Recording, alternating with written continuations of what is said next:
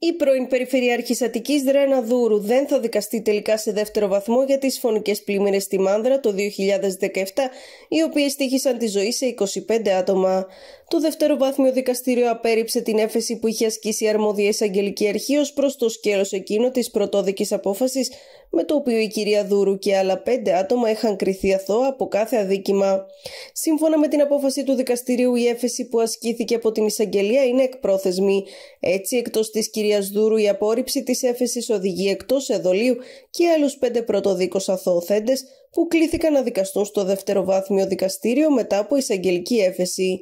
Το δευτεροβάθμιο δικαστήριο απέρριψε την εισαγγελική έφεση κάνοντας δεκτή την ένσταση που υπέβαλαν οι συνήγοροι των έξι προσώπων για τους οποίους ασκήθηκε η έφεση.